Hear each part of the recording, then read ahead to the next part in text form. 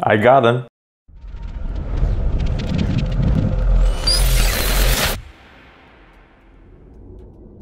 Hi everybody and welcome back to Noizie Works. I'm your host Eve and uh, we're gonna talk about thermal pads. So a frequently asked question was what kind of thermal pads fits into this laptop?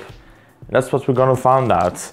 So I bought a huge uh, lot of the Adwits thermal pads and they come in a variety of uh, thicknesses. I think they sell them on Amazon and all the thicknesses from uh, half a mil to two mil I think. So I bought them all. Let's open it up and uh, have a look at what kinds of thermal pads you will need for this laptop. For disassembly of this laptop I already have a video, so I'll link it in the description below. So uh, a quick recap of the disassembly. We have a few screws over here. We have one hidden under this rubber flap. Let's remove them all. So we have the shorter screws on the bottom, the longer ones on top, and I already lost one. I think this is what you get when you disassemble it a lot, but I don't care. So to open it, use a flat one, and you can pull this one off. You can uh, remove the hard drive by uh, pulling this one out like this. Now we got the cover off. We still have a few right over here, here, and I thought, yes, a third one over there. So let's do that. Voila, it needed some persuasion.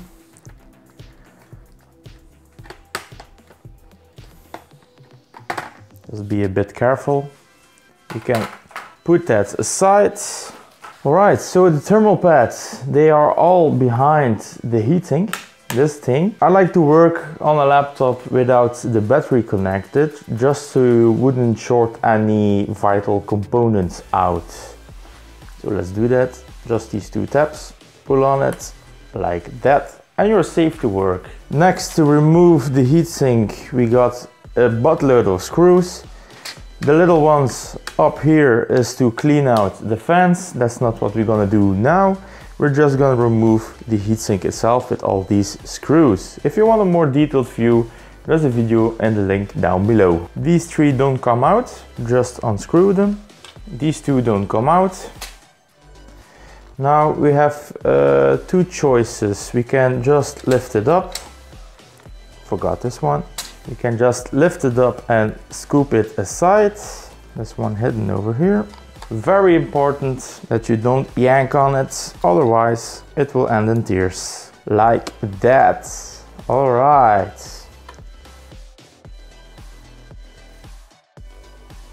So we got our thermal pads. So the paste still looks very good. It's uh, soft to the touch, not hardened out. We clean it up later and the thermal pads are still uh, mushy so they didn't dry out.